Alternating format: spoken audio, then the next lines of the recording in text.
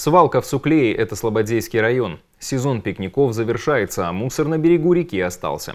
Во что превратили местные жители пляж села, расскажем далее.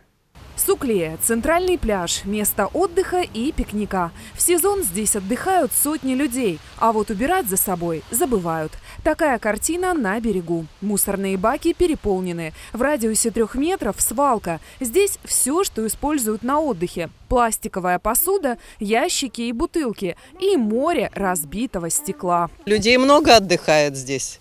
Все любят отдыхать, но никто за собой мусор не убирает. Рядом с деревьями стоят мешки, наполненные мусором, и все. Потом собаки растаскивают все это. Грязь, мусор. Люди сами спокойно могли бы свой мусор увезти. Погуляли, собрали, не оставили мешок под деревьями, что кто-то придет и за них уберет. И ужас, конечно. После этого сезона летнего это, не хочется сюда ходить гулять. Сегодня мусор уже убрали. Заполнили два таких прицепа.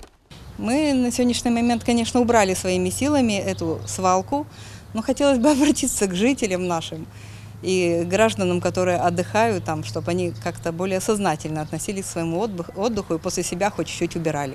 Мусорные баки здесь есть, но состояние их плачевное. Дно прогнило. Их планируют обновить к следующему сезону.